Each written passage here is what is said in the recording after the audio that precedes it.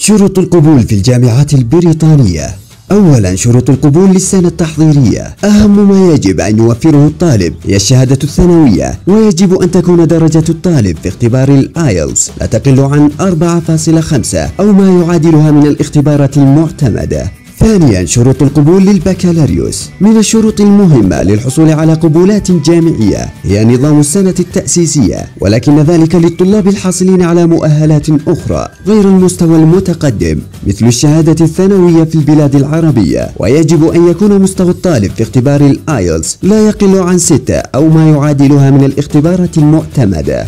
الحصول على شهادة البكالوريا الدولية ولكن حامل هذه الشهادة ستضع عليه الجامعات شروط متباينة حسب نوع التخصص الذي يتقدم به الطالب. الجامعة الإيرلندية تشترط حصولك على شهادة الثانوية الإيرلندية والتي يمكن الحصول عليها في أحد المعاهد الإيرلندية. طرق التقديم للجامعات البريطانية عن طريق مكتب خدمات القبول بالجامعات وعلى الطالب أن يقوم بتعبئة استمارة القبول الصادرة عن UCAS وإرسالها قبل الخامس عشر من أكتوبر بالنسبة لتخصص الطب عن طريق التقدم بشكل مباشر إلى الجامعات التي يريد الالتحاق بها بعد اجتياز السنة التأسيسية.